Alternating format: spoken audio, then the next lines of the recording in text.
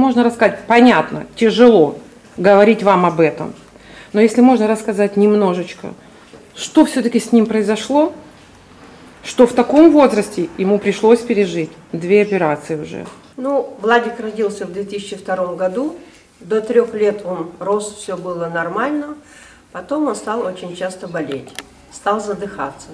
Вся проблема в том, что когда э, наступает астматический приступ и пользуешься ингалятором, приступ уходит. У Владика это не проходило. Поэтому он пролежал в центре матери ребенка, и врач-профессор матери посоветовала, чтобы она с ним уехала в Москву, потому что здесь э, ничего не получится. Ну и э, они попали к профессору Разумовскому, это, как говорится, российское светило. Э, раньше он э, сделал операцию Зити и Гити. После того, когда он Владика э, изучил все, он сказал, что у вас очень редкий диагноз. В моей практике второй случай. А что за диагноз? Э, у него гепатопульмональный синдром, э, фиброз печени и расширение вен э, желудка и пищевода. Он сказал, от первого э, мальчика я отказался, вашего попробую прооперировать. 6 18 августа 2013 года ему сделали операцию, ему удалили селезеночку и склемировали э, вены желудка и пищевода. Очень тяжело в Москве перенес операцию. Э, он две недели находился в реанимации, потом в палате интенсивной терапии, в общую палату он так и не попал.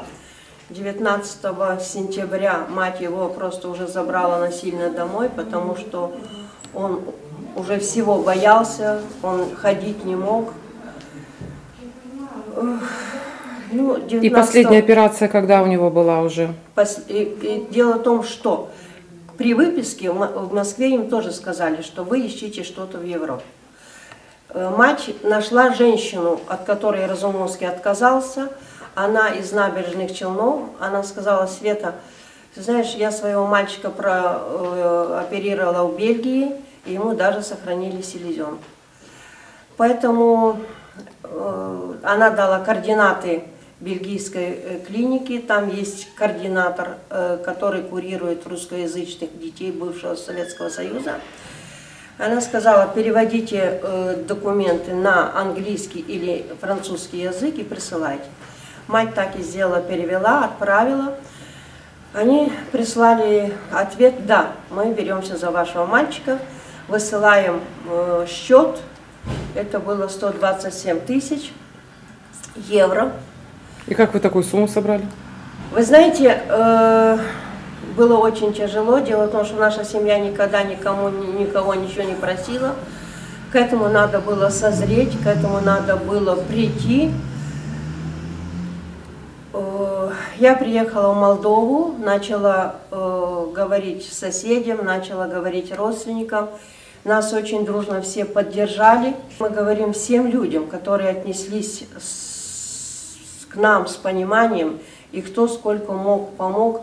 Были люди, которые даже не хотели себя называть, они просто говорили, вот мы можем такую сумму дать, и мы даем на выздоровление мальчика. Конечно, мы здесь эту сумму собрать не могли. И если я э, решилась просить 3 января, то моя просьба это была только толчком, чтобы дочь могла в Москве тоже просить. В России, оказывается, есть каждое направление болезни имеет свои фонды. Вот эти все э, деньги мы сложили, отправили на счет. Владика 21 мая день рождения, к этому дню мы очень благодарны, мы сумели собрать эту сумму. И 6 августа а, Владика прооперировали уже в Бельгии. Это самое. Я объясню, почему мы обратились к Ренату Усатому. Дело в том, что Бельгия это очень дорогое удовольствие.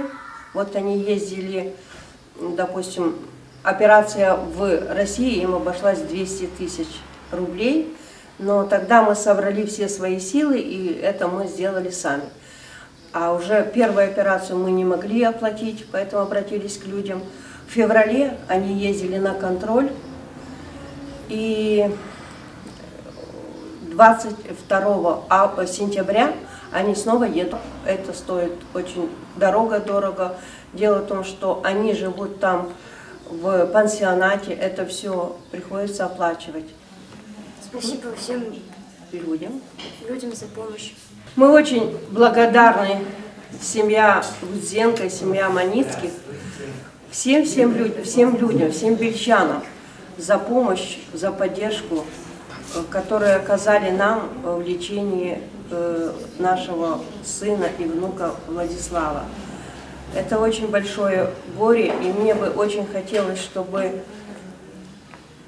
как можно меньше было больных деток, чтобы вы даже не представляете, какое это чувство, когда ты получаешь эту помощь от людей и понимаешь, что ты не один в своей беде, а очень много людей тебя поддерживает.